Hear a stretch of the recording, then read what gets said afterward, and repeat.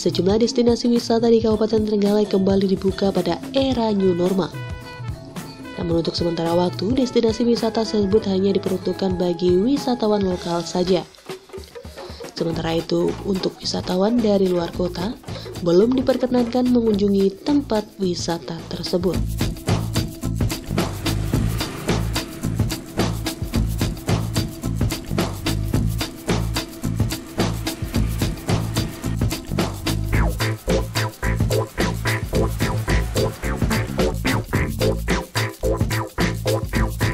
Sedikitnya ada 14 tempat wisata yang di Kabupaten Trenggalek ini mulai dibuka.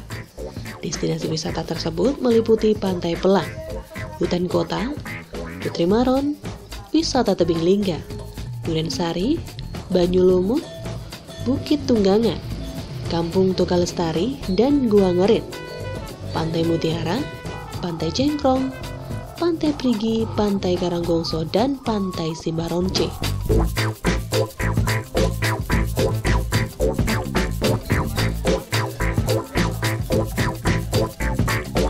Melakukan pembukaan wisata pada era new normal ini, Bupati Trenggalek Muhammad Nur Arifin menyampaikan, untuk penerimaan wisatawan dari luar daerah, pemerintah daerah akan menggandeng salah satu bank plat merah untuk menyiapkan platform online. Nantinya untuk bisa masuk ke tempat wisata harus order terlebih dahulu secara online. Selain itu pembayaran juga dilakukan secara cashless. Sebelum mereka datang, wisatawan luar kota tersebut akan didata terlebih dahulu. Jadi kita punya beberapa tahapan setelah kemarin SOP kita sudah mendapatkan juara uh, di Kemendagri, kemudian kita sosialisasikan bagaimana tata cara pariwisata new normal. Kemudian uh, Dinas Pariwisata melakukan verifikasi untuk atraksi dan juga destinasi wisata. Kita putuskan di fase awal ini ada 14 tempat wisata yang uh, siap untuk kita buka tapi bukanya bertahap untuk wisatawan lokal terlebih dahulu. Wisatawan luar daerah nanti kita siapkan uh, platform online, kita bekerja sama dengan Bank Jatim sehingga nanti pembayaran dan sebagainya uh, sudah cashless dan nanti akan kita jadi sebelum mereka datang kita sudah mendata dulu siapa-siapa mereka yang akan datang dari mana. Kemudian nanti begitu datang kita bawa ke checkpoint diobservasi.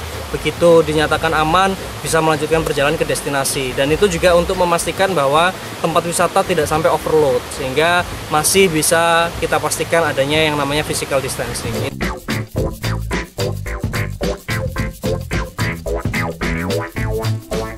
Bupati juga menambahkan, apabila platform tersebut sudah jadi dan wisatawan luar daerah sudah mau memanfaatkannya, nantinya Pemkap akan membawa pelancong yang datang untuk dilakukan pengecekan terlebih dahulu di checkpoint.